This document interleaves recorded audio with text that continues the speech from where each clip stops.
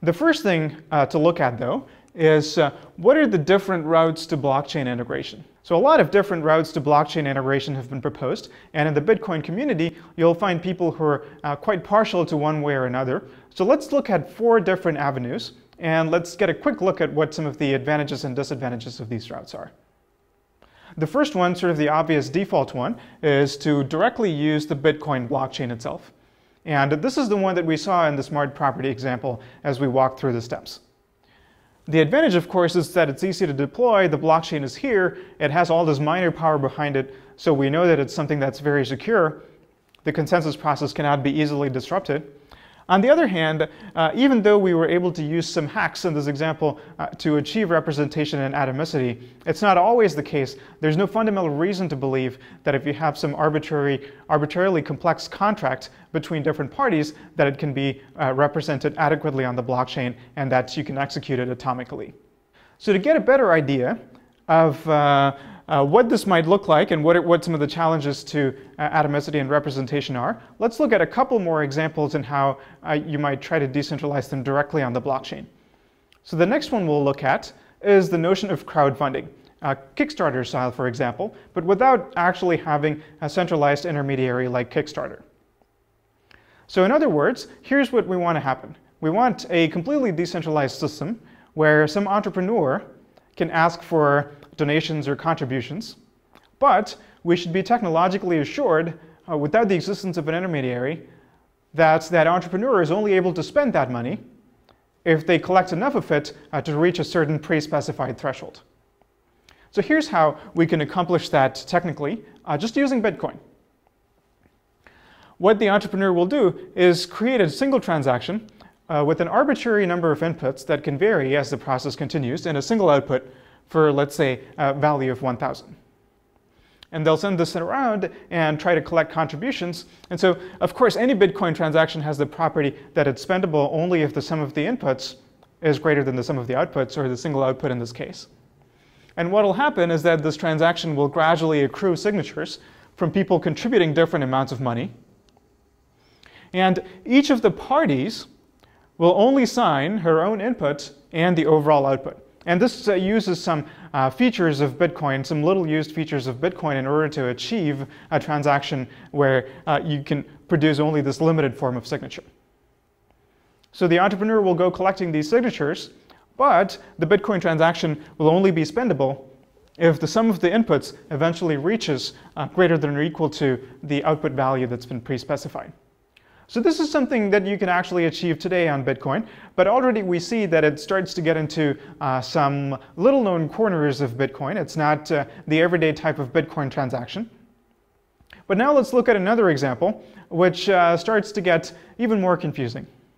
And here's what I'm talking about. This is something called paying for a proof, and let me explain it in this way.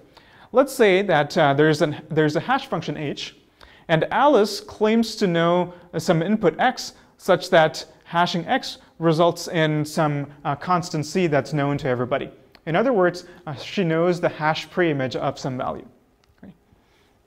And now Bob would like to pay Alice in exchange for knowing this value of x.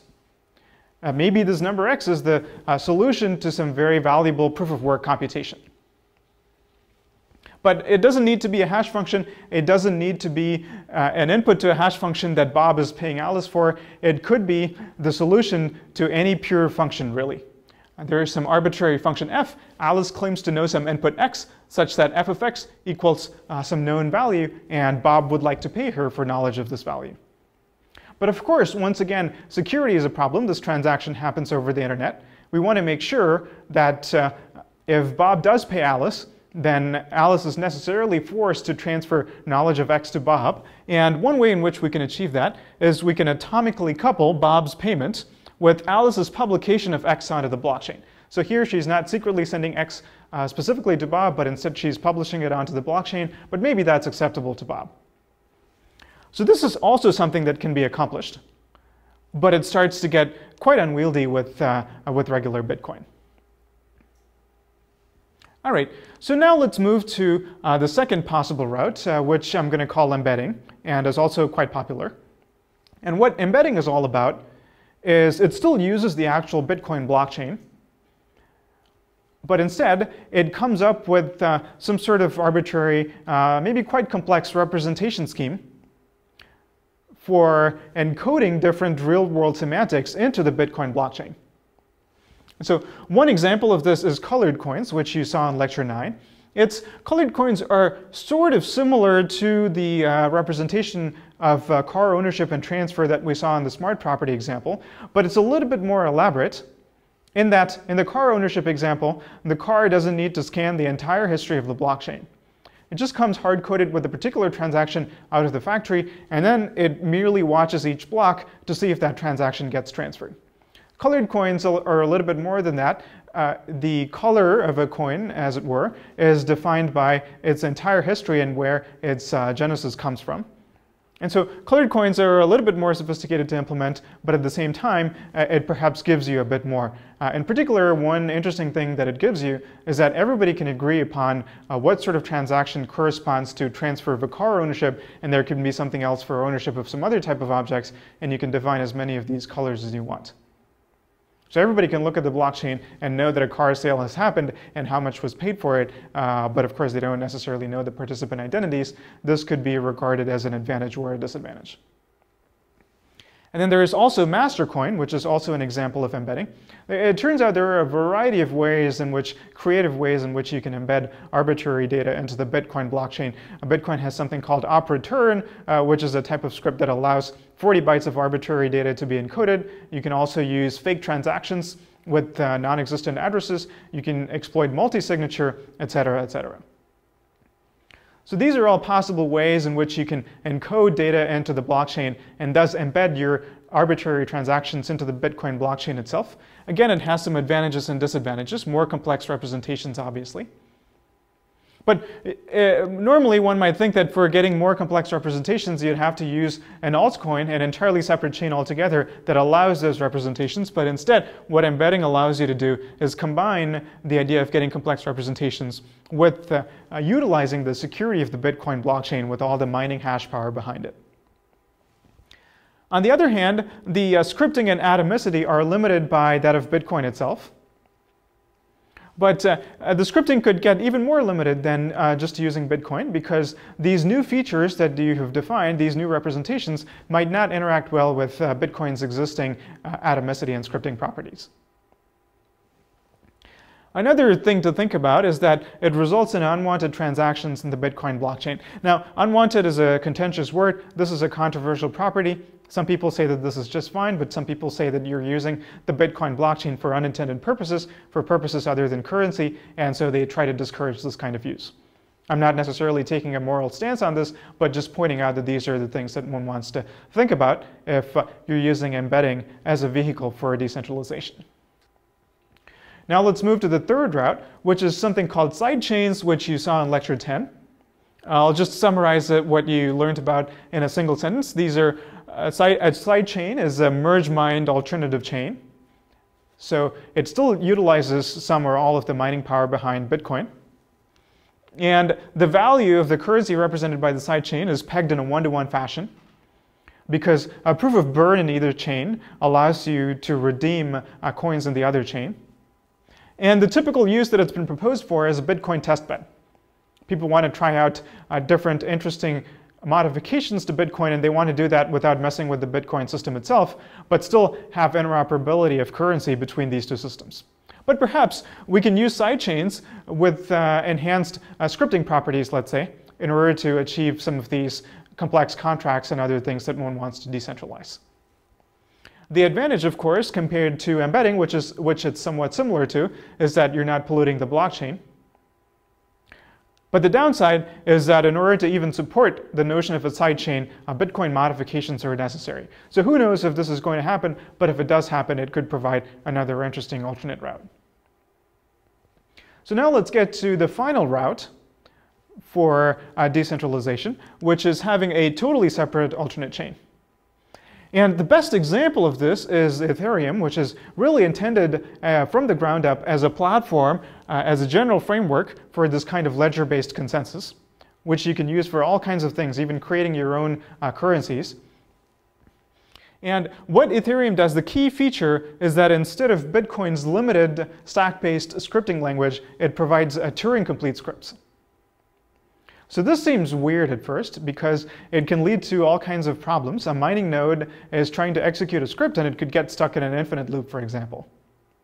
So Ethereum has a neat a solution for this problem, which is that miner computation will be paid for uh, using uh, an internal currency called gas by entities within Ethereum. In particular, Ethereum has this notion of a long-lived contract which is sort of a program with a minimal amount of state that lives within the uh, Ethereum blockchain. It gets activated when a transaction is sent to it, it executes for a little bit on the miner nodes, and then it shuts down. So uh, contracts are these uh, long-lived things that have their own accounts and their balances and so on. And so they use that to pay for computation from miners. Now, if you can achieve something like Ethereum, then it's pretty much a dream situation for complex representations in atomicity, you can take uh, arbitrarily complex contracts and uh, make sure you can represent them and execute them in an atomic manner. Uh, but the concerns, the challenges are more practical. Is something like this even possible? And, and, since it's an alternative chain, will it ever have the sort of mining power necessary to make it really secure, at least in relation to using Bitcoin? And given that you're allowing uh, Turing-complete scripts, what sort of uh, unexpected security problems does, does that open you up to? So those are the things to think about when uh, one is talking about a, a totally altcoin-based solution like Ethereum. I should point out that Ethereum mostly exists in an idea stage at this point, so it remains to be seen to what extent it will be realized as a practical system. But nevertheless, at least as a thought experiment, Ethereum is fascinating in thinking about what sorts of powerful contracts can be decentralized using blockchain technologies. Coming back to smart property though, uh, let's think about uh, which of these approaches might be best. Well, uh, from a conceptual point of view, any of these is powerful enough to accomplish what we wanted. But when you start to get to more powerful contracts, then uh, there are going to be a lot of differences between the four approaches and the level of power and flexibility that they offer. But another practical consideration also to keep in mind is that various things like uh, SPV, uh, simplified payment verification proofs, are going to be more or less feasible in some approaches uh, compared to the others. All right, now let's go back to the car sale example and ask what happens if uh, there is a dispute about the sale of a car. Uh, perhaps the seller sold a lemon car to the buyer and now they're not happy with it and they want to reverse the transaction. Recall from one of the early lectures that we learned about escrow transactions, uh, particularly a two out of three escrow, where in addition to the buyer and the seller, there is a judge or a mediator who's involved.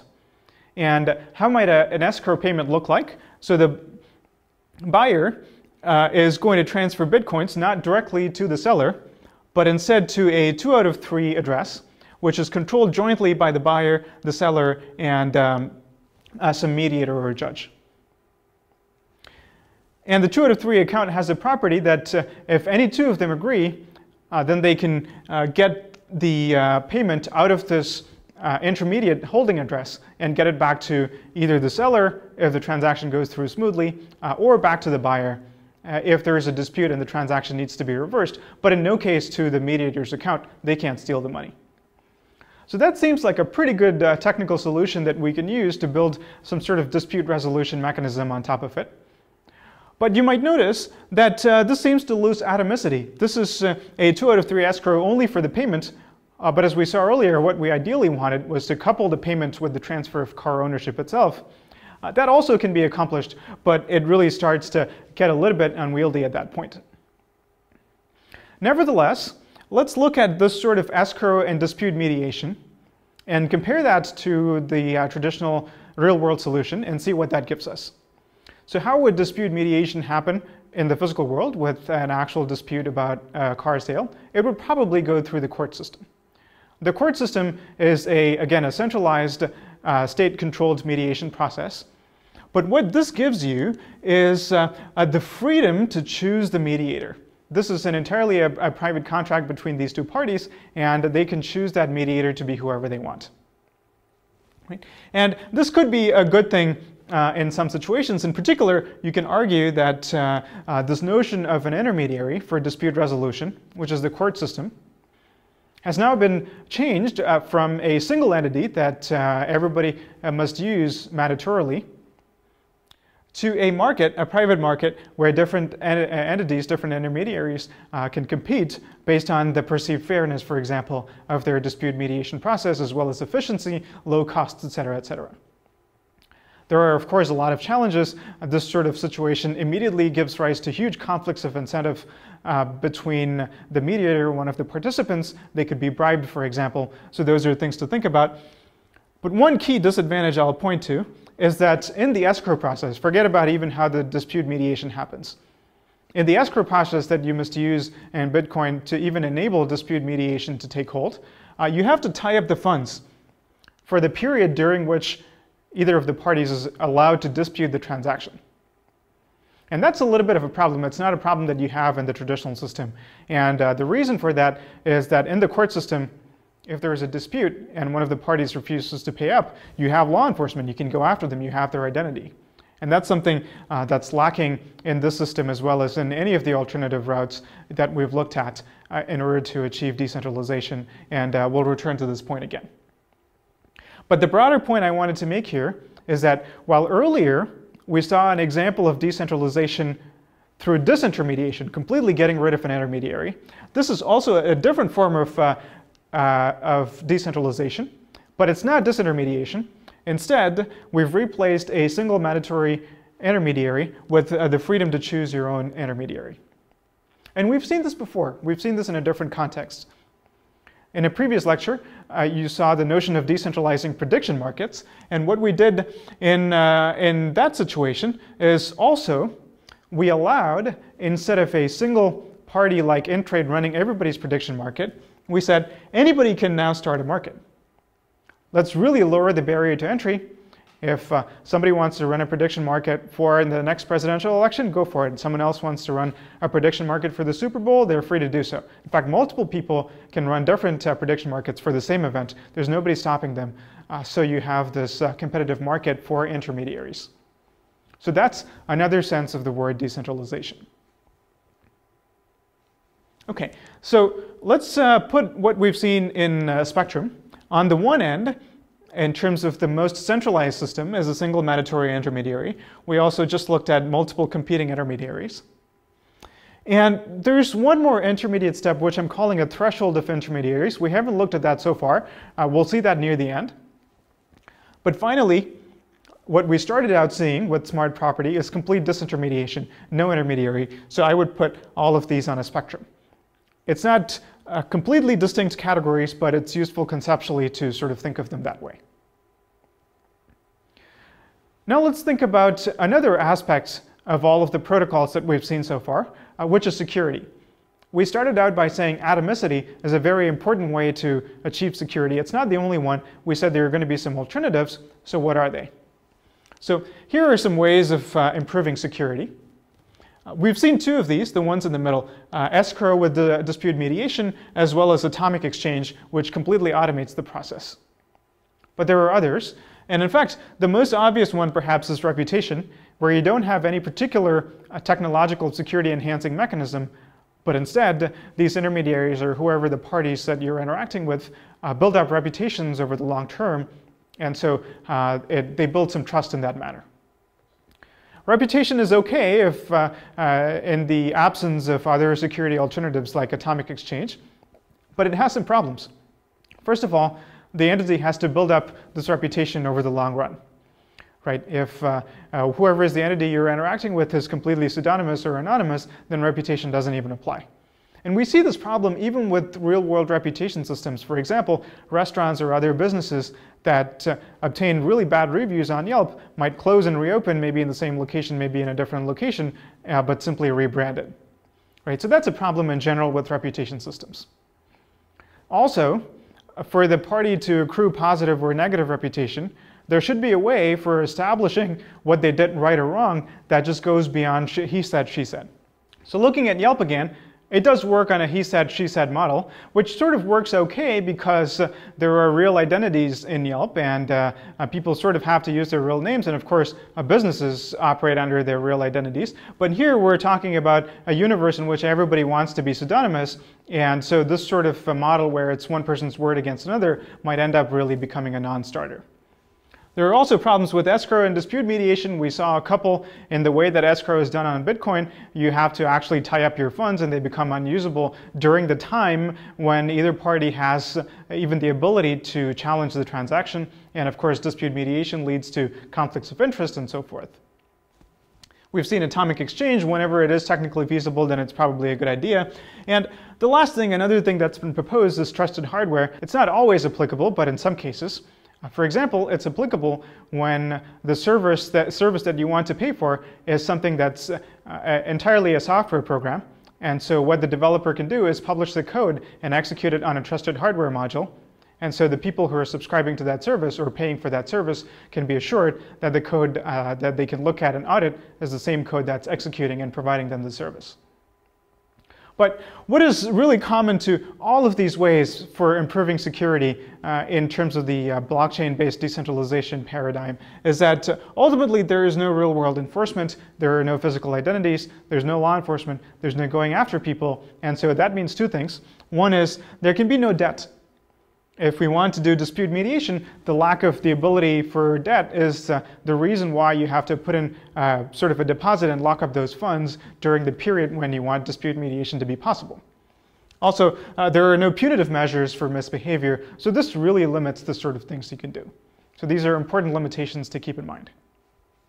Okay, uh, one little thing that I want to point to is that in terms of the vocabulary of security, some people use the word uh, trust minimization. I don't like this term at all. I feel that there's often a confusion between uh, two things. One is the fact that cryptography is often used in contexts where, unfortunately, there's not much trust between entities. And so uh, the lack of trust is a starting point and cryptography is a solution. This often becomes confused with, oh, now we have this hammer of cryptography. Let's try to use this to move to a world where nobody has to trust anyone anymore. And so trust minimization is not the goal. Uh, lack of trust is not the model that uh, we're hoping to move to. It is in, instead our unfortunate starting point. But really, trust is not really the right lens to look at it. It's not whether you trust the motives of some individual, but whether uh, they're going to behave in the manner that uh, uh, they have specified. And it could be because not only because they're untrusted, but because they got hacked, et cetera, et cetera. So let's not really use the word trust and instead talk about security. All right, so let's summarize a lot of what we've seen so far. One of the things that uh, we want to talk about in terms of decentralization is what is being decentralized. We've looked at a couple of examples, smart property, pay for proof, and so on.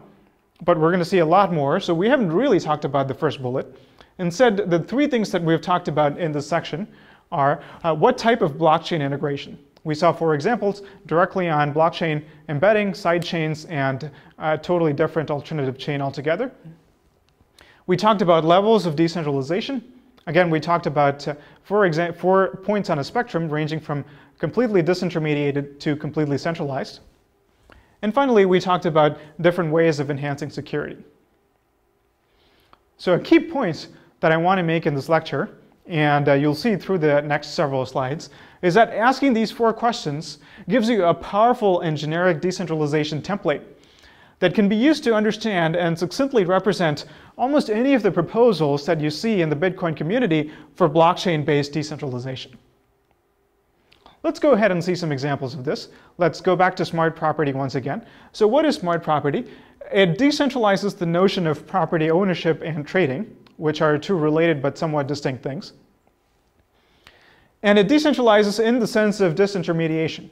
You don't need an intermediary anymore like the state or the DMV. And in the example that we saw, it was achieved using the Bitcoin blockchain itself, but you could achieve it using any of the other three methods. And finally, the key security principle that we used was atomicity in tying together the payment with the transfer of the car ownership. Now let's look at another example, which is also something we alluded to a bit earlier in the lecture, which is prediction markets. So of course it decentralizes a centralized uh, prediction market like Intrade. And it does so in the sense of competition.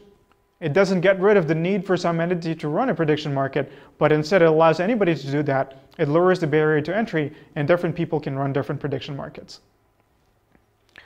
And it was done using an altcoin. And again, the security property was atomicity in that the uh, two parties to a trade of a share in a prediction market uh, are coupled together using this atomic property that ties together the transfer of the share with the transfer of payment.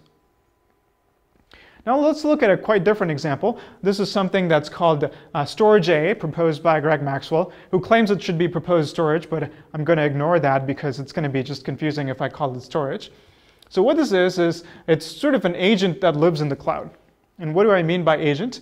Uh, what, uh, or at least what Greg Maxwell means by agent, is that it has some level of uh, independent decision-making ability. It's not full-fledged AI, but it uh, decides some things for itself.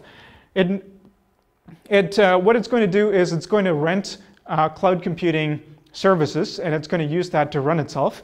But the service it provides to consumers is that you can pay this agent uh, to store a file for a certain period of time, say 24 hours. And when you do that, it's uh, going to receive payment in bitcoins, store this file, keep it for 24 hours, and then delete it unless you keep making payments. It also has some other very interesting aspects such as reproduction. It can take a copy of the code, spawn a new instance, and try to make improvements to it, pay somebody to write uh, uh, new improvements or modules and so on. But uh, we'll ignore those aspects for now and just talk about this aspect of it. So what is Storj, and can we look at it through the lens of decentralization? It turns out that uh, we can. So Storj decentralizes the notion of file storage and retrieval, which you can do today through Dropbox, for example. It's decentralized in the sense of competition. You still need an intermediary very much, which is this agent. And the payment is done using Bitcoin. And finally, the uh, security mechanism that you have is just reputation. Uh, there is nothing in particular in the Storj proposal that, for example, atomically couples your payment for storage with the actual act of uh, retrieving the file. So that's Storj. Let's uh, look at more examples. In fact, we can even uh, uh, consider ZeroCoin, for example, which we saw in a previous lecture through this lens. So ZeroCoin is a way to decentralize the notion of mixing. Instead of having a centralized mixing service, where you put in your coins and just hope that you get it back. It's decentralized in the sense of disintermediation. There is no mixing intermediary anymore. The mixing is accomplished purely through cryptography. You don't need to trust anyone. It's enforced just by math and by consensus. And uh, it's uh, done using an altcoin. It's uh, not quite compatible with Bitcoin unless there, are, uh, unless there is a fork to Bitcoin. And the security property is atomicity. What does this mean? the notion of uh, burning a base coin and zero coin and actually uh, getting a zero coin in exchange for it are atomically coupled through the same transaction. And the same goes for later redeeming a zero coin. And that's where uh, the security comes from. That's why you don't need to trust anybody. And that is, of course, accomplished through zero-knowledge proofs. So we've seen these, uh, this powerful template that incorporates these four factors. And we've seen some examples of how systems that we've already looked at fall into this pattern of decentralization. In the next part of this lecture, we're going to look at a variety of new examples of things that people have proposed can be decentralized using blockchain technology, and we're going to use this sort of template to analyze them.